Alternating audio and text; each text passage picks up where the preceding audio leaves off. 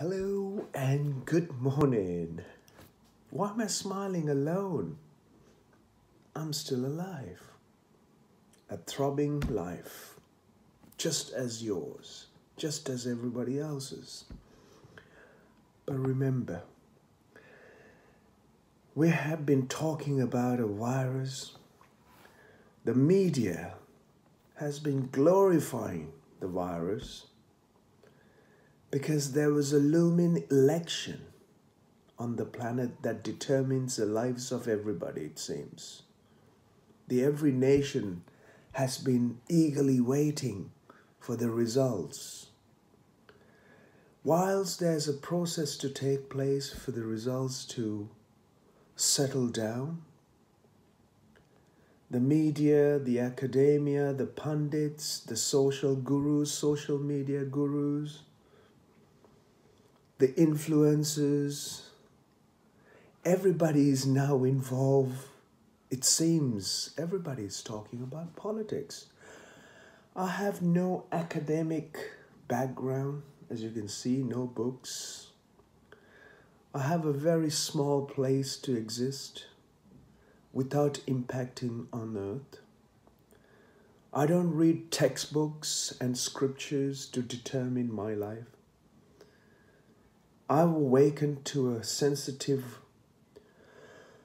sensitive approach to life, and I do what is relevant for every life to throb within and thrive in this existence. A brief pop up of a life to exist. As a human being, we have been the most virulent on this planet. From the way we conduct ourselves with the greedy power struggles and greedy attributes to life, the way we have conducted on this planet, there is no other virus, no other creature that is more crippling the living than a human being. For millennia, for centuries, the human being has been heavy handed and heavy footed on this earth and has compromised the very life of you and me and everyone else. The scriptures have written down in a certain way that this place is a hell on earth and that somewhere else is a better place. A convoluted, twisted idea that has been sent down from above for so long is causing tremendous harm and tremendous suffering for humanity and life. The idea that humans are here, are only here, and forgetting about every other life is the most convoluted and most blinded, limited knowledge that human beings have received on this earth.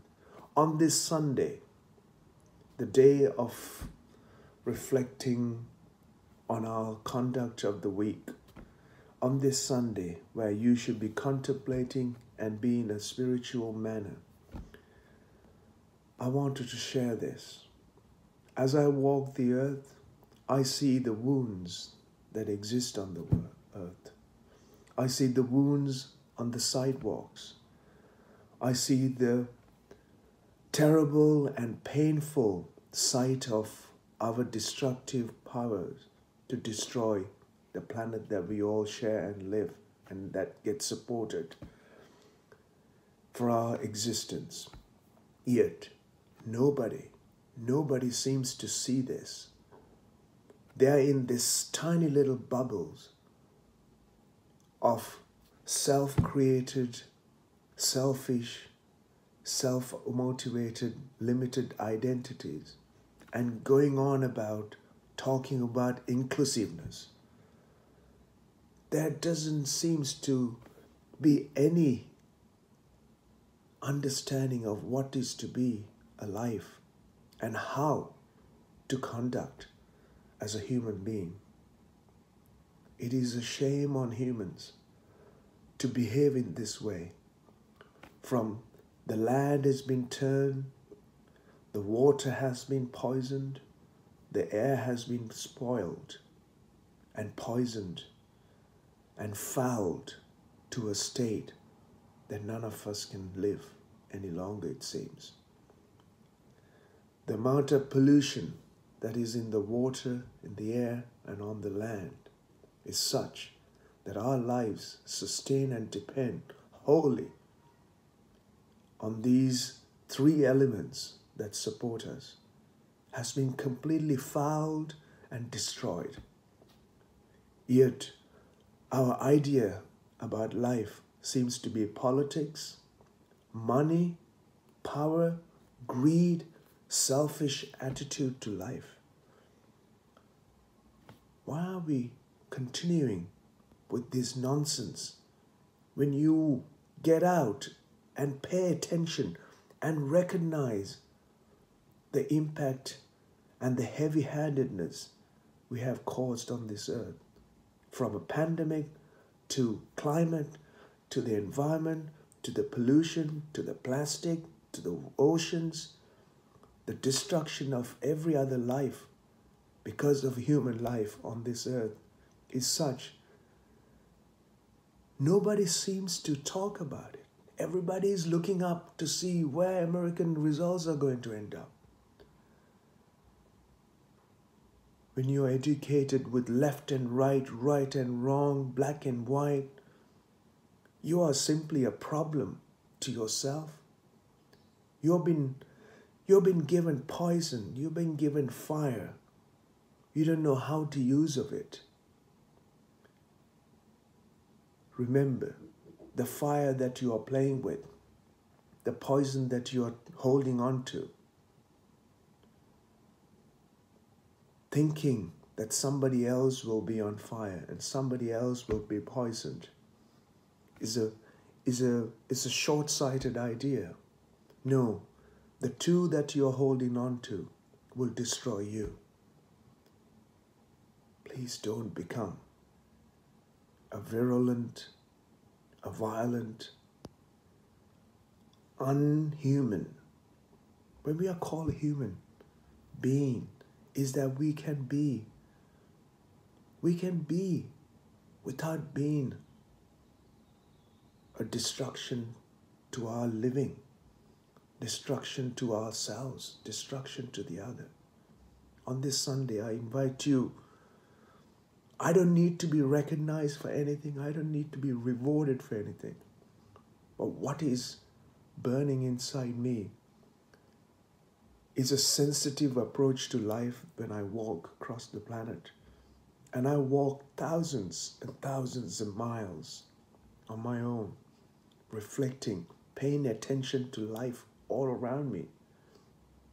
And it hurts to see what am I going to leave for my children? What am I going to leave for the next generation? What am I leaving behind? Am I leaving a less than what I am as a human being? This cannot be. This cannot be accepted as normal. This cannot be an evolved human being's responsibility on this earth when we come here. Please, let's pay attention to every life and recognize and waken ourselves to a more conscious, gentler approach to the way we live on this earth. Thank you, and may your life be a, a phenomenal and a profound one for you to arrive in a better place than you imagine or you you've been told it has to be walked the distance for you to know. In this living experience remind yourself a gentler approach to life will show you a profoundness and a more phenomenal existence as a human being.